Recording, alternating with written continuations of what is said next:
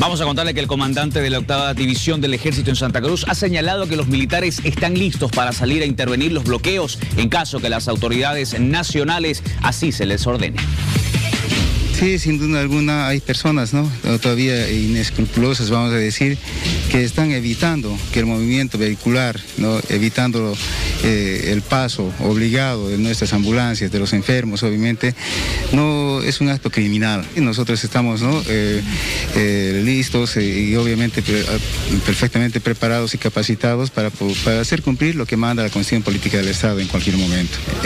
obviamente pedimos conciencia a esas personas que inadaptadas adaptadas, eh, que no están permitiendo el paso de los insumos médicos, no están permitiendo el paso de los alimentos a los eh, distintos lugares de nuestro país, obviamente no, está, no es correcto, no está bien. Estamos buscando pedir trabajar y lo primero que hacen otras personas es bloquear los caminos, ¿no? y en, vez de que, sigamos adelante y queramos seguir trabajando ¿no? para nuevamente recuperar